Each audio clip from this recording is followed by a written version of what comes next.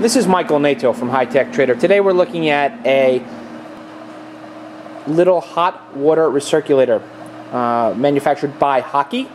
The bottom volume is approximately 6 liters. It's the Haake stainless steel B3 with a drain right in the front. Handle. The control mechanism is a C1, the Haake C1. Um, this particular circulator has um, a recirculating loop here and an external circulating loop if you wanted to pump something into it.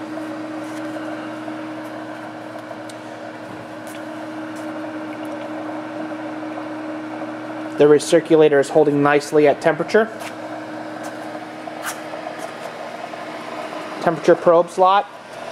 On the back side we have the overtemp, overtemp fuse.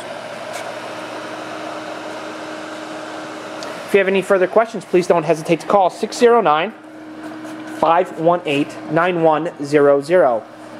Thank you again from High Tech Trader.